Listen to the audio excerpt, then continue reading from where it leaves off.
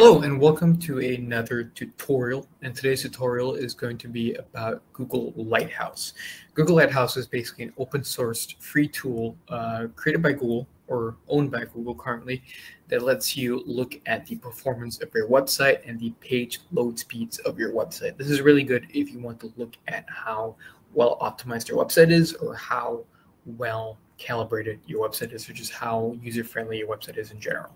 So, one important thing to know is that uh, Google Lighthouse is open sourced, so it can be used on any website. Um, you know, it can be used on your website, but also on any other website. But generally speaking, it's probably the most useful, most beneficial, and just makes the most sense to use it on your website because you'll be able to t- take that information and make changes with it and roll with it and kind of um, uh, make strides from that. So, in this situation, um, I don't own the UPS website or I don't have access to it. But in this situation, let's pretend like we do, uh, just because it is a pretty common, openly used website. So, in this situation, I'm going to go ahead and uh, open my website. In this situation, you should open your website on your end. So, I'm going to go ahead and hover my cursor here and right click it and go all the way down here to inspect. So once I'm on inspect, I'm going to, and uh, by the way, I'm using a Google Chrome browser, so I don't know if this works on browsers like Safari or Firefox because of the Google connection. So maybe you want to stick to using Google Chrome. So in this situation, let's um, look at the elements up here, and on their far right, we have a lighthouse. So I'm going to go ahead and click on Lighthouse. And over here, we see the option to generate a Lighthouse report. So before I go ahead and generate it, there's just a couple things I want to walk you guys through here. So on the far left, we have some options to look at. I'm going to stick with the default navigation option. Over here in the middle, we have mobile and desktop. What I'm going to do is I'm going to just run desktop because this is a desktop site. But um, you know, I highly recommend you know if you have your own website, I highly recommend just running both reports because the mobile version of your website is going to be just as important, if not sometimes more important than your desktop website. So in this situation, I'm going to stick a desktop, but I highly recommend looking at your mobile version as well. Over here on the right, we have a couple of categories, uh, performance accessibility, best practices, SEO, progressive web app.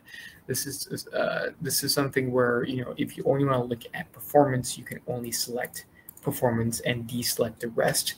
But generally speaking, these reports don't take too much time to load. Uh, in my experience, they take about a minute, maybe slightly under, maybe slightly over. So checking all five boxes, in my opinion, isn't a hassle or really isn't a problem. In fact, it's more beneficial because you derive more information from it. So I'm going to go ahead and analyze page load now that I'm happy with all my selections here. So I'm going to click on Analyze Page Load, Page Load. And this will take, like I said, a little bit over a minute, a little bit under a minute, or just about eight minutes. So I'm going to come back when the uh, report is generated and the audit is complete. Okay, and here we are. So welcome to the Google Lighthouse report. This is what um, the report looks like and what it tells you. So generally speaking, we got a 33 for performance, which is what we're looking at for page load speed in particular. So this isn't too great of a result because as you can see here, we have a couple thresholds that we should meet. Uh, so between 0 and 49 is uh, the lower tier, between 50 and 89 is kind of average, and 90 and 100 is the green spot or where you want to be technically. So this isn't too promising for the UPS website, but for other factors that we're looking at, your accessibility is 100, which is great.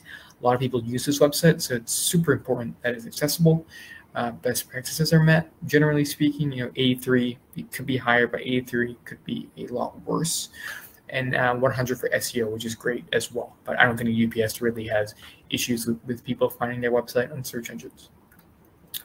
So we're to scroll down here and take a look at a couple of pointers here. So, you know, we're seeing a couple of tips with, uh, you know, content. You know, it's probably telling us to reduce file size or reduce image size telling us to reduce the impact of third-party code. You know, that's a big item that's slowing it down.